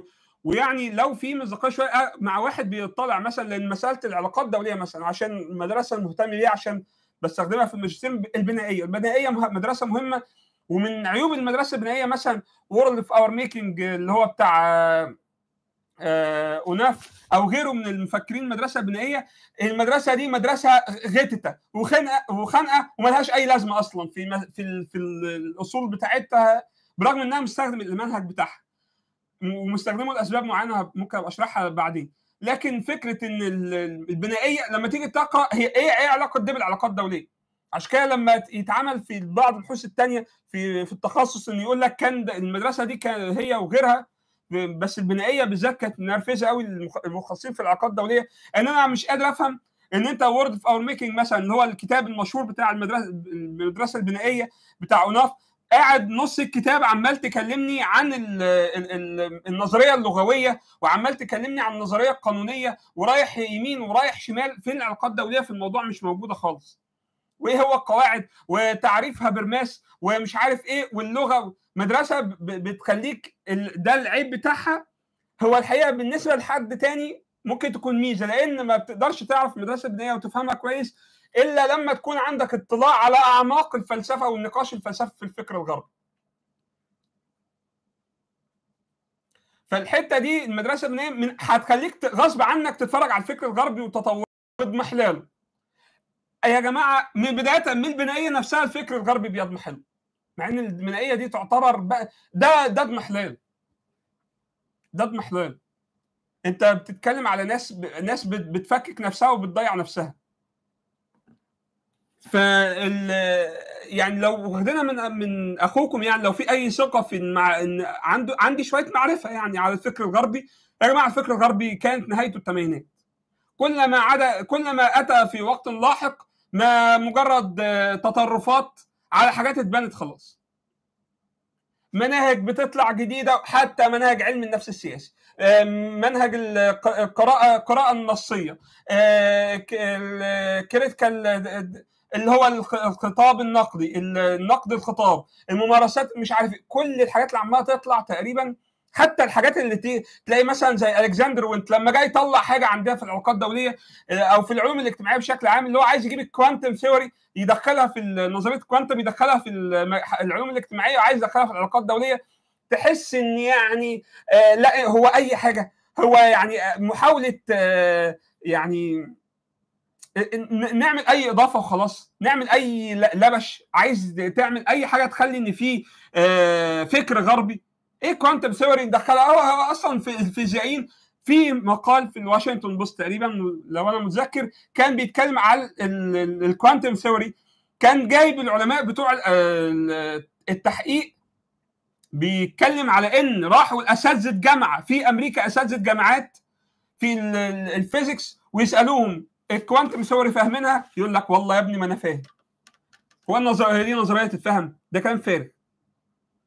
سواء صحت أو غلطت التطبيقات بتاعت التطبيقات خلينا ناخد التطبيقات بتاع طب الجزء النظري بتاعها الأساس النظري ال meta theory بتاعتها ولا فاهمين أصلا. يقول لك إحنا مش فاهمينها أساسا. فأنت بقى تروح واخد نظرية أصلا فيزيائيين عندهم مشكلة. في في فهم هذه النظرية وفي قبول كثير من فرضيات هذه النظرية والأفكار بتاعت هذه النظرية. تروح رايح جايبها عشان تدخلها العلوم الاجتماعية. بس هو الفكرة ديت لما أنت تشوفها في ألكسندر ونت هو في الكتاب بتاعه الكتاب بتاعه عندي وقرأت جزء منه. الفكرة بتاعته وشفت المحاضرة بتاعته اللي هو بيديها واللقاء اللي كان عامله في في البتاع. بص يا جماعة ناس مش عارفين يعملوا إيه. وصلوا خلاص الفكر الغربي الغربي وصل إن هو مش عارف يعمل إيه. هو بيحاول يخترع أي حاجة يعمل هيصة كده.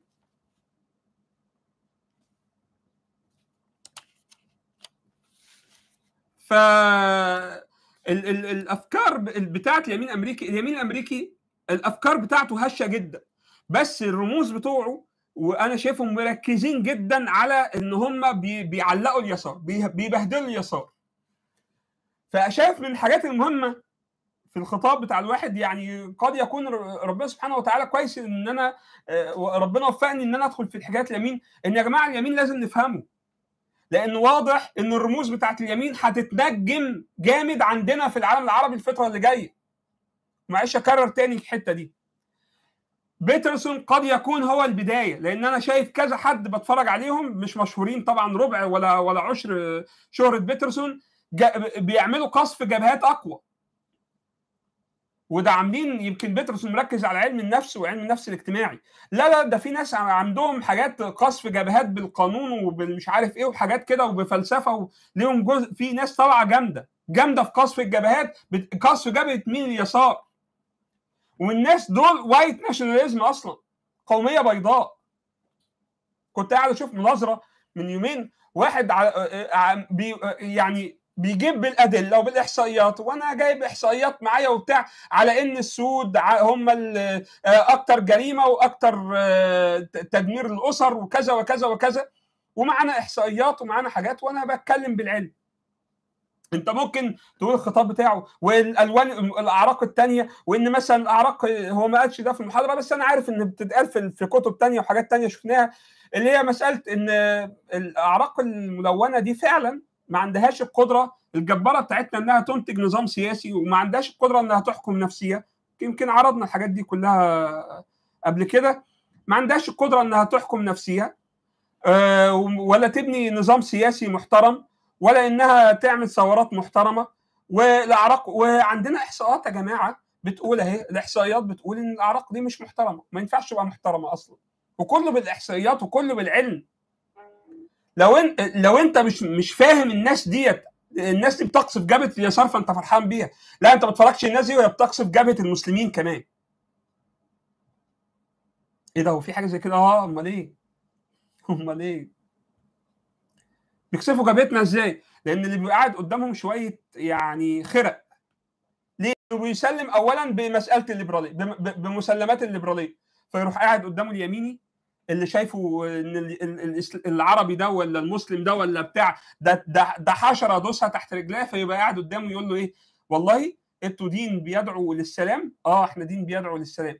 طب إحنا أنا أعرف إن عندكم الآية كذا وكذا وكذا وكذا دي تدعو للحرب والفقهاء بتوعكم بيقولوا إن ال أحكام الديار ثلاثة أو بيتكلموا عن إن يا إما دار عهد عاملة معاهدة معاكم والعهد عندك تروس تمبر تروس. هدنة مؤقتة. ما عندكمش عهد دائم ولا سلام عالمي ولا الكلام ده كله. مش عندكم. آه عندنا الكلام ده. بالمناسبة آه فعلا. ودار حرب وهي الدار الكافرة اللي أنتم مش قادرين تج... مش قادرين عليها. ودار سلام. دار إسلام. مش دي أحكام الديار يا ابني عندكم؟ مش ده تقسيمة العالم بالنسبة لكم؟ ويقصف جبهتك وانت تروح إيه؟ لا ده ال traditional فقه ده الفقه التقليدي. إحنا في فقه مش عارف يقول لك بس يبقى انت قول بقى ان انت إيه؟ إسلامي معتدل تنويري وتعالى أنا وانت مع بعض. نهاجم المسلمين المتطرفين الوحشين دول اللي هم كافة علماء الأمة على مدار 1400 سنة. تمام؟ ده على فكرة ده يبقى يميني محترم أو يميني بيلعب معاك. لا اليمين الجد بقى هيقول لك يقول لك إيه يا عم؟ من أول نبيك عشان كده في كتاب كان بيتكلم عن الإرهاب أو الجهاديزم الجهاد في الإسلام من محمد إلى داعش. والكتاب بيتكلم على إن دي ظاهرة دول عبارة عن ظاهرة تطرف وإرهاب من يوم ما بدأ النبي صلى الله عليه وسلم حاشاه يعني. فا آه يا مين يا حبيبي أصلا. هيروح قايل لك الإرهاب بدأ من أول نبيك ما طلع. واديله بقى القصف جابها بقى وبتاع. تقول لا لا. والنبي هيروح جايب لك من السيرة النبوية إن النبي صلى الله عليه وسلم أيوه فعلا كان جهاد فتوحات. كان في جهاد طلب. حضرتك طبعا جهاد الطلب ده بالنسبة لك الفوبيا. كمسلم كيوت معتدل. فوبيا. أوعى تقول جهاد طلب. بالنسبة لك كارثة لأن معنى كده نظرية السلام العالمي والسلام في الإسلام زي ما دكتور اكرونيم يتكلم ولا بتاع ده كل ده كلام فارغ. أنت وقعت في كارثة سوداء وقعت في بلاعة. لازم الإسلام يبقى مبني على السلام. الحقيقة إن الإسلام مش مبني على السلام. الإسلام مبني على التدافع. والعيب عليك إن أنت اللي وقعت نفسك في البلاعة دي. فهو اليمين هيقصف جبهتك لما يخليك تخر دم. وهيطلعكم كلكم إرهابيين. من أول نبيك. من أول نبي هيطلعك كلكم إرهابيين. ف الله المستعان. دي القومية البيضاء يمكن دي الأفكار الواسعة قوي ليها. حاجات كتيرة بقى يعني عايز أقول لكم كلام كتير وحاجات كتيرة فيها. شعب الله المختار قلنا الحاجات دي كلها وشعب الله المختار. لكن الأسس بتاعتهم الأساسين دول العرق الأبيض أنظف وأفضل وأعظم وأجمل حاجة خلقها يعني يا إما خلقها ربنا يا إما أنتجتها الطبيعة. على حسب بقى أنت ملحد قومية بيضاء ملحدة ولا مسيحية. أعظم حاجة عملتها الطبيعة هي العرق الأبيض ده. والعرق الأبيض ده مهدد. الاثنين دول بقى هم المفتاح عشان تفهم كل اللي بيحصل ده. كل اللي بيحصل ده. ليه بيهاجموا اللوطيه؟ ليه بيهاجموا الإجهاض؟ ليه بيهاجموا مش عارف إيه؟ ليه بيهاجموا الهجرة؟ آه ليه بيهاجموا المسلمين؟ ليه بيهاجموا العرب؟ ليه بيهاجموا السود؟ ليه مش طايقين مش عارف إيه؟ ليه بيروح واحد يروح ماسك رشاش مدفع مدفع آلي ويروح داخل قاتل الأطفال في المدرسة وبتاع؟ حبيبي كل الأطفال أو بتاع هم رؤيتهم إبادية. العرق الأبيض في خطر لابد عشان العرق الأبيض تستقيم الأمور اقروا يوميات ترنا أو مش لازم تقروها كلها مش هتقدر تقراها ما تحملش حتى أعمل لها مطالعة كاملة. يعني فرحت رايح قاري الملخصات اقرا الملخصات عنها مرميه في كل حتة في النت. اقرا الملخصات بتاعت يوميات ترنا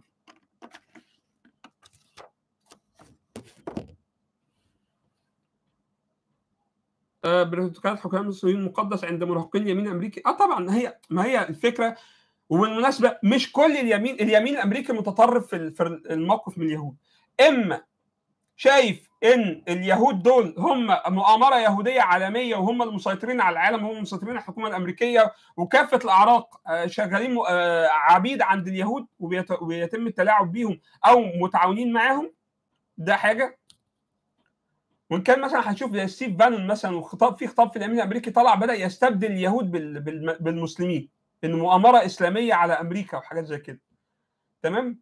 آه أكرر تاني وعاشر و15 آه, آه في شايفين لا مش اليهود بقى يا جماعة ده بقى المسلمين هم اللي, اللي عاملين مؤامره وبيحكموا الكوكب. وفي آه خط تاني في اليمين الأمريكي مش محب لليهود. ده برو إسرائيل يعني يعني هو البرايت بارت أصلا برايت بارت نيوز. لو فاكرين الحلقة بتاعتها لما جينا نعرض الكلام عن برايت بارت نيوز. هو أصلا قايمة على فكرة الدعم إسرائيل. في خط في اليمين الأمريكي داعم لإسرائيل بصورة جنونية ومع إبادة الفلسطينيين خالص من من وجود. وفي طبعا رموز ليه وبتاع بس هل ده الخط العام في اليمين؟ لا مش الخط العام. الخط العام في اليمين الأمريكي هو إن اليهود هم المسيطرين ومؤامرة كبيرة على أمريكا والكلام ده كله. لكن في خط موجود في اليمين الأمريكي لا مع إسرائيل قلبا وقالبا. واليمين ينتمي لأيديولوجيا عامة كبيرة اسمها الأيديولوجيا المحافظة. تمام؟ في اللي يقول لك لا الأيديولوجيا المحافظة حاجة ثانية لا لا, لا الأساسات بتاعت الأيديولوجيا المحافظة هتلاقيها في فهو بينتمي تقدر تعتبر إن هو من طيف الأيديولوجيا المحافظة. الأيديولوجيا المحافظة أصلا المحافظين في أمريكا أكثر حبا لإسرائيل من الخط اللي هو اليساري أو الليبرالي يعني إيه؟ يعني الدراسات اللي بتتعمل كانوا بينزلوا مثلا وده اللي هو الكتاب بتاع جريس اللي هو أثر الايديولوجيا في السياسة في أمريكا والسياسة الخارجية بتاعتها. لما جم يسألوا الناس طيب أنت كمحافظين ياخدوا موقفهم آرائهم. الموقف من الإجهاض مثلا المح... أصحاب الأيديولوجيا المحافظة أكثرهم رافضين الإجهاض. تمام؟ طيب الموقف من الشعوب الأخرى الليبراليين موقفهم مع الإجهاض أكتر اللي بيعرفوا نفسهم إن هم ليبراليين واليمين الأمريكي بيحب يسميهم يساريين وهي تسمية برضو لائقة قوي بيهم يعني وان كان تسمية فيها لمز هو اليسار وعايز يلمزهم إن أنتوا ماركسيين وأصولكم ماركسيين وشيوعية وبتاع مؤامره كفكره مؤامرة ومؤامرة اليسار والاشتراكية على الحلم الأمريكي والدولة الأمريكية. انت دلوقتي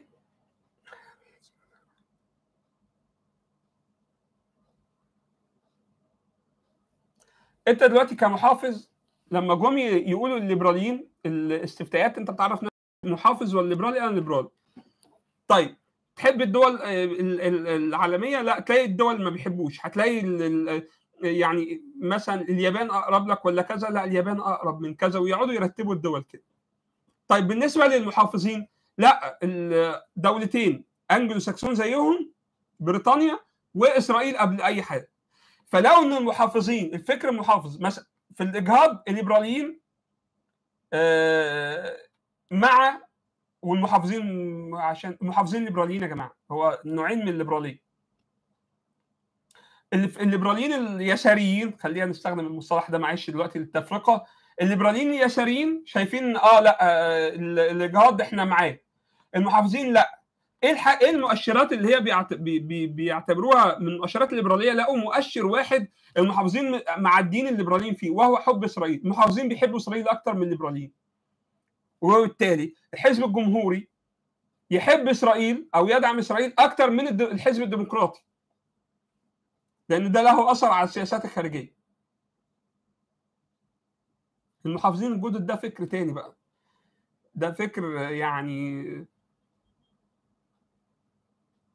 خليه ما مره بس يعني هو كان لهم عهد وخلص يعني إن شاء الله ما يرجعش تاني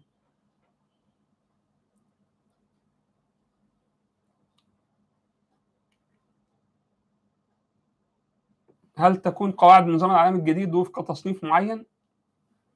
مش عارف إحنا إحنا. إحنا في مرحلة تشكل أنظمة جديدة وواضح إن هو مش ماشي ناحية نظام ناحية تفكك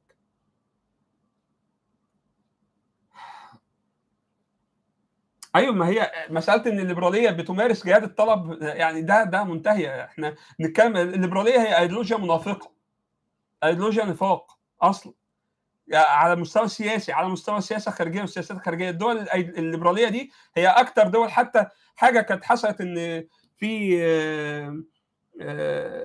إحدى المتابعات يعني كانت بعثت وهي أستاذة فاضلة يعني. فكانت بعتت قالت لي أنا دلوقتي يعني الايديولوجيا النسوية ديت في الحقل العلاقات الدوليه أنا شايفاها عملت حاجة كويسة وهي إنها أظهرت يعني من المساهمات اللي عملتها إنها أظهرت كون إن كل ما الدول اللي بتعامل النساء بصورة أفضل ودي من مزاعم الايديولوجيا النسوية في الحقل العلاقات الدولية إن الدول اللي فيها النساء معاملة فيها أفضل الدول دي بتكون مسالمة أكتر في السياسة الخارجية. فأنا من حسن حظي إنها السائلة من فلسطين أو اللي بتقول الرأي ده من فلسطين. أو حسب يعني ده اللي أنا فهمته يعني إنها من فلسطين أو من فقلت لها ده على حسب بقى. هم بي... الزعم دوت قايم على على على زعم آخر. تمام؟ إيه هو الزعم الآخر؟ قلت لها الزعم اللي هم أو المقدمة اللي هم الزعم دوت إن أمريكا وأوروبا دول بتعامل النساء أفضل من بمعايير مع... النسوية. وفي ال... في البتاع دوت في السياسة الخارجية دول سلمية جدا وغير عدوانية ما بتحاربش أي حد. أما الدول الوحشة القذرة زي العالم العربي زي فلسطين زي الصين زي روسيا الدول دي وضع المرأة متدني فيها فبالتالي الدول دي عدوانية في سياساتها الخارجية. وبتأذي العالم وبتأذي الكوكب وعدوانية وخطيرة وتوسعية وبتاع. قلت لها أنت إيه رأيك؟ كواحده فلسطينية. ما هو بالمعيار ده بالمناسبة برضه وإسرائيل على فكرة بتروج القصة دي أصلا. إن إحنا عندنا النسويه ومعيار المساواة بين الرجل والمراه عالي مقارنة بالفلسطينيين. عشان كده الفلسطينيين عدوانيين. إسرائيل أصلا بتستخدم اللي بيسموها pinkwashing يعني بيستخدموها في اللوطية بس بي بي بي من ضمن الملفات اللي بيستخدموها اليهود مسألة النسوية دي. إن إحنا عندنا العدالة والمساواة بين المرأة وبتاع فإحنا سياساتنا سلمية إنما الفلسطينيين كده عدوانيين عشان سياسات قمع المرأة وقهر المرأة. أساسا. فاهمين مين مين اللي فقلت لها أنت إيه رأيك؟ أصلا آخر خمس قرون مين أكتر دول يعني نفخت العالم حروب؟ وورتني يعني إيه سياسات عدوانية. ودخلت يعني أول ما يدخلوا المشرق يبقوا داخلين محتلينك ويقول لك بص تعاملوا المراه وحش إحنا عندنا المراه وصلت إنها بقت ملكة. ده أنت داخل محتلين يا راجل. داخل عشان تصور النسوان بتاعتنا في ترسمها وتطلعها صور بره. تبقى الست قاعدة بهدومها تطلعها في الصور وهي عريانة وتنشر وتعمل ودعاية وبروباجندا والمسلمين بيحطوا الصور دي بعد كده ستاتنا وهي عريانة. ده انت داخل محتلني ومبهدلني وشاتمني في الكتب الأجنبية في في الحاجات في القرن ال 19 كنت تقرأ في كتاب انجليز ما كانوش بيعتبروا في حاجة اسمها شعب مصري أصلا مفيش حاجة اسمها شعب مصري أساسا أساسا. لقطاء التاريخ الإنجليز كانوا أصلا ما بيعتبروش إن في حاجة اسمها شعب أساسا ولا إن المصريين دول شعب. آه أمال إيه؟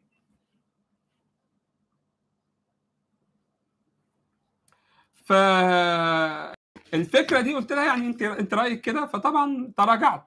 قالت لا طبعا. قالت لا طبعا.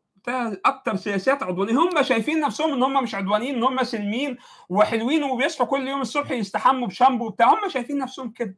هل دي الحقيقة؟ لا مش الحقيقة. ده كذابين كالعادة كعادة الليبرالية وكعادة الأفكار بتاعة الغرب يعني. البجاحة وقلة الأدب وبلا حدود. بلا حدود ملهاش نهاية. الله المستعان. يعني خلاصة الأمر ده وممكن هنرجع كذا مرة بعدين بقى لمسألة القومية البيضاء والأعراق لكن القومية البيضاء يعتبروها الافتتاحية بتاعت حاجات هنقعد نلقطها في الموسوعة لاحقا. القومية البيضاء لو فهمتها هيبقى حي... كل بعد كده اللي هيجي اليمين البديل مثلا. ال ال بتاع دوت النازيه الأمريكية. مش عارف كل اللي هيجي بعد كده هو عبارة عن القومية البيضاء هي الأساس ثم بعد كده هنضيف واحد اثنين حاجات كده إضافات إنما القومية البيضاء دي الأساس.